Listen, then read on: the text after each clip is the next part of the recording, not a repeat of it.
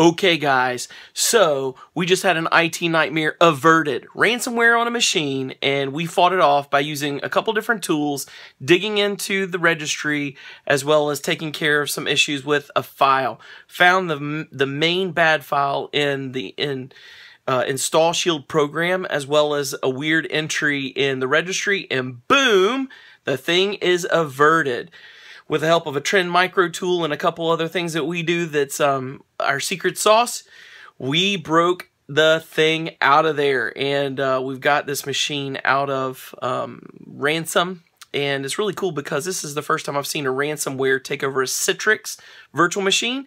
But again, it being virtualized also benefited us because of some stuff that ransomware can't do, such as reflash the BIOS and chipsets inside of the machine. But anyway, watch this fun thing and fast forward and see us take on a ransomware virus and get it off of a machine live. IT nightmare averted.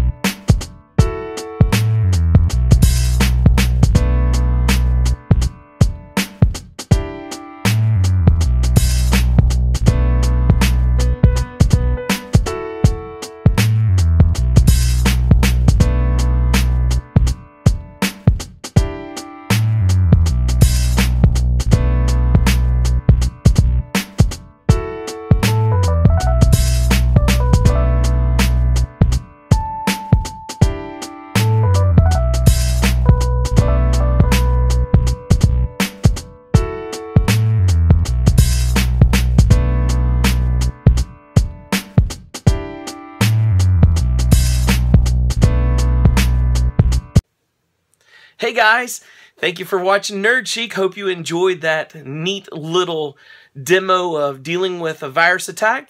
And if you want more, tell us. Put it in the comments. Say, hey, I want to hear about this or see you do this and demo that. And it'll give us ideas of what we can do. Don't forget to subscribe to our channel. Give us a thumbs up. And again, comment, comment, comment. We want to hear from you. Well, we just, we really appreciate your time here. And uh, thank you for watching Nerd Chic.